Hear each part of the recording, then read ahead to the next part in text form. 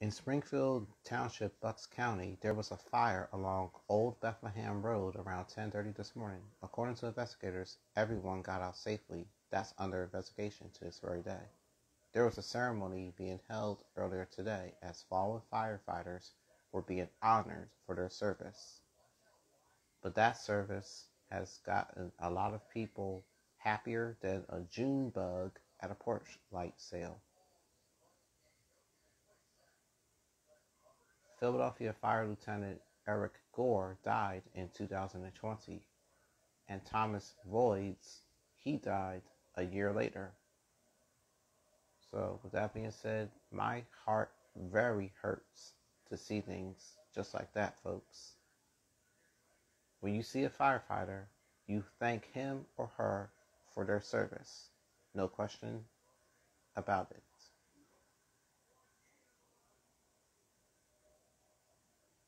Today was Family Fun Day at the Chop Buddy Walk at the Lincoln Financial Field. So, that being said, a lot of people came out in support.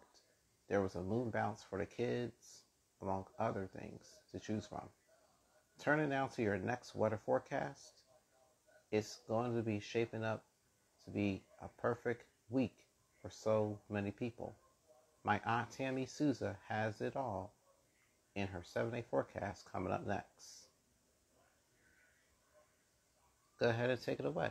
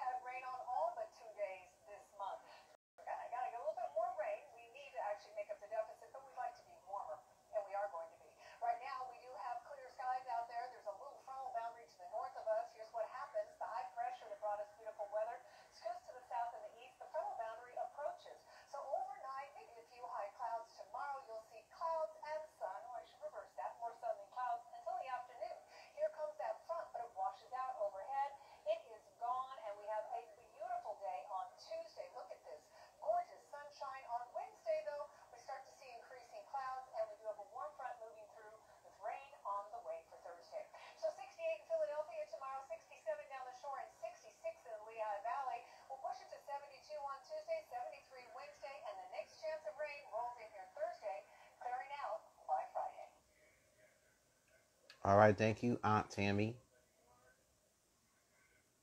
Here are some of the top stories making headlines as we go to the war of Ukraine. Tensions between the country and Russia are beginning to escalate. This comes after a new cruise missile struck, killing off at least 12 people.